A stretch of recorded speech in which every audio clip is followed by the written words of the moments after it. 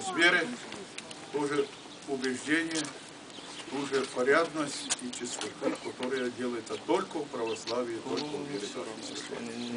Пусть Господь благословит на молитву, потому что каждый сегодня хочет помолиться, чтобы было благо и для семьи, и для страны, и для всех моряков, для всего нашего морского порта. Пусть Господь вас. Благослови, владыко,